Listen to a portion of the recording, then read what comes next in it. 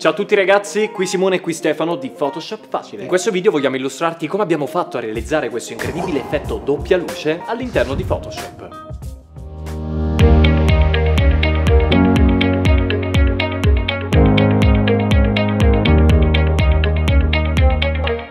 Quello di oggi è forse uno dei miei effetti preferiti. Nello specifico andremo a mappare le luci con due colori specifici. Il risultato finale è davvero gradevole da vedere, ma la cosa più bella è che possiamo realizzare questo effetto in pochissimi step. Detto questo, se vuoi imparare a realizzare altri effetti mozzafiato, all'interno del corso Photoshop Facile abbiamo dedicato un intero modulo proprio sugli effetti. Se non sai che cos'è il corso Photoshop Facile, devi semplicemente sapere che è un corso in cui io e Simone abbiamo compresso tutta la nostra esperienza su Photoshop. Ti portiamo da un punto zero fino ad arrivare arrivare a un punto 100, quindi un punto in cui sarai in grado di muoverti e realizzare i tuoi lavori in completa autonomia. Il nostro obiettivo principale con questo corso è quello di farti acquisire un vero e proprio metodo di lavoro. Se ti abbiamo incuriosito, vogliamo darti la possibilità di guardare gratis le prime tre lezioni del nostro corso. Trovi il link per visualizzare queste lezioni qui in basso in descrizione. Ok, io direi che siamo pronti per vedere come realizzare questo effetto, sono super curioso, quindi mano sul mouse e apriamo Photoshop. E siamo all'interno di Photoshop, qui al centro ho già importato l'immagine su cui andremo a lavorare e la prima cosa da fare per realizzare questo incredibile effetto a doppia illuminazione consiste nell'andare a correggere un pochino quella che è la nostra immagine di partenza. Nel mio caso andrò ad applicare dei valori tonali, quindi mi reco qui in basso su riempimento e faccio clic su valori tonali.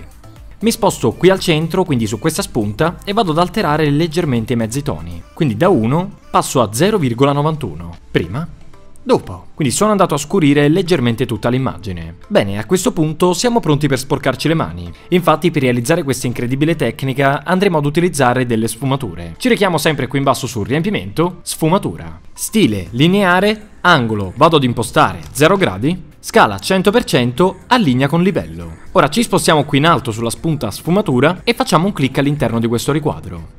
E ragazzi, cosa molto importante, all'interno di questo pannello dobbiamo selezionare la sfumatura che va dal colore, quindi nel mio caso nero, fino ad arrivare alla trasparenza. Per selezionarla è semplicissimo, infatti la trovate all'interno dei predefiniti di Photoshop. Vi basterà sfogliare un pochino all'interno di questa schermata e fare clic sulla sfumatura che va dal nero fino ad arrivare alla trasparenza. Bene, a questo punto è arrivato il momento di andare a trasformare un pochino questa sfumatura. Quindi per prima cosa faccio clic sull'ultimo cursore e premo il tasto Cance sulla tastiera. Bene, lo abbiamo eliminato, adesso ci spostiamo qui in basso su colore e molto semplicemente qui dobbiamo andare a selezionare il colore che più ci piace. Quindi questo colore verrà utilizzato per creare appunto questa illuminazione. Nel mio caso mi sposto qui sul magenta e già che ci sono vado ad abbassare la luminosità del colore, quindi mi basterà portare il colore semplicemente più in basso. Diamo clic su ok e adesso spostiamo lo sguardo sulla nostra immagine, quindi sposto tutto più a destra come puoi notare abbiamo un piccolo problema. Infatti la nostra sfumatura predomina troppo all'interno della nostra immagine. Questo non va bene, infatti più avanti quando andiamo ad aggiungere il secondo colore, praticamente i due colori si andranno a sovrapporre. Quindi per risolvere questa situazione è semplicissimo, ascoltami molto attentamente, selezioniamo il punto qui in alto a sinistra sulla nostra sfumatura e lo trascino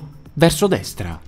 Faccio la stessa cosa con l'ultimo punto, quindi lo seleziono e lo trascino verso sinistra e come puoi notare adesso la nostra sfumatura non va a ricoprire tutta la nostra immagine. Quindi abbiamo la parte destra del volto del nostro soggetto praticamente intaccata. Nel mio caso vado a migliorare ancora di più la mia sfumatura, quindi sposto questo cursore più verso destra, seleziono l'ultimo punto e vado a spostare anche questo un po' più verso destra. Ok, quindi per il primo punto abbiamo impostato posizione 41%, per il secondo posizione 55%. Ragazzi ovviamente questi valori cambiano a seconda dell'immagine che stai utilizzando. A questo punto diamo clic qui in alto su ok, diamo clic su ok e signore e signori ecco qui la nostra sfumatura. Ovviamente così non va bene, infatti dobbiamo andare a cambiare il metodo di fusione, quindi da normale passiamo a colore. Prima dopo. Incredibile. Ora facciamo la stessa cosa anche con la parte destra della nostra immagine. Quindi vado a duplicare la mia sfumatura, seleziono la sfumatura 1 e premo Command più J se utilizzi Mac o Ctrl più J se utilizzi Windows. Doppio clic sulla sfumatura che abbiamo appena duplicato e adesso dobbiamo semplicemente cambiare l'angolo e il colore della sfumatura. Quindi in questo momento l'angolo è impostato su 0 gradi e questo non va bene, quindi portiamolo a meno 180 gradi. Praticamente siamo andati a ribaltare la nostra sfumatura. Facciamo clic clic all'interno del riquadro qui in alto e all'interno della nostra barra che si trova qui in basso facciamo un altro clic qui su colore e signori adesso dobbiamo semplicemente impostare il secondo colore. Quindi nel mio caso andrò ad impostare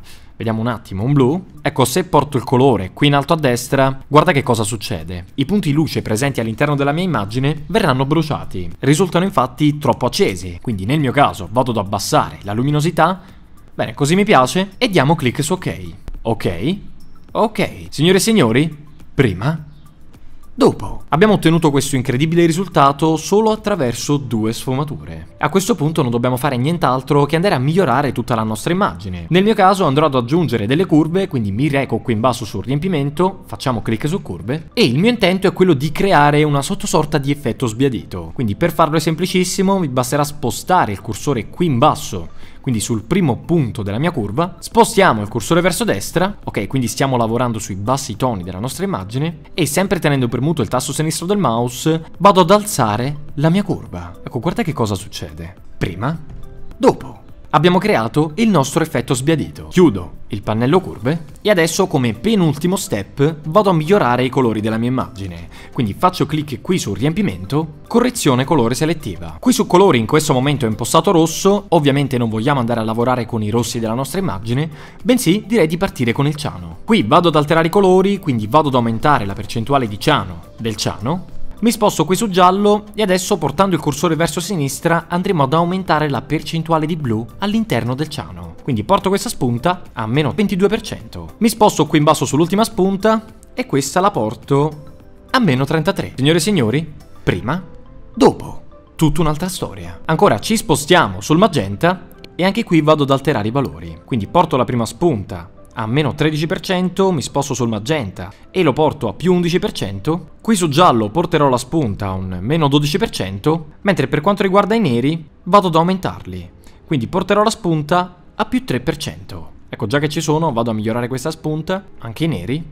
E signori, ecco qui il nostro risultato finale. Prima, dopo. Chiudiamo, portiamo tutti questi livelli all'interno di un unico livello, quindi tengo premuto Command più Option più maiuscolo più E se utilizzi Mac o Ctrl più Alt più maiuscolo più E se utilizzi Windows. Convertiamo questo livello in un oggetto avanzato, quindi facciamo tasto destro, converti in un oggetto avanzato. Ragazzi ovviamente se volete approfondire tutte queste regolazioni che siamo andati ad applicare sulla nostra immagine, il mio consiglio è quello di entrare all'interno del corso Photoshop Facile. Qui in basso in descrizione è presente un link che vi permette di guardare in modo totalmente gratuito le prime tre lezioni del nostro corso. Bene, ritorniamo a noi, spostiamo il cursore qui in alto su filtro e facciamo clic su filtro camera raw. All'interno di questo pannello vado ad aumentare la texture generale di tutta l'immagine, aumento leggermente il contrasto e vado ad abbassare leggermente i bianchi. Porto le ombre a un più 3 e per quanto riguarda la vividezza la vado ad abbassare leggermente. Diamo su ok? E signore e signori, ecco qui il nostro risultato finale. Prima, dopo. Che dire, spero che questo tutorial vi sia piaciuto, se sì vi prego di farmelo sapere lasciando un commento qui sotto. Per oggi è tutto, qui Simone, qui Stefano e noi ci vediamo alla prossima con un nuovo tutorial qui su Photoshop Facile. Ciao ragazzi!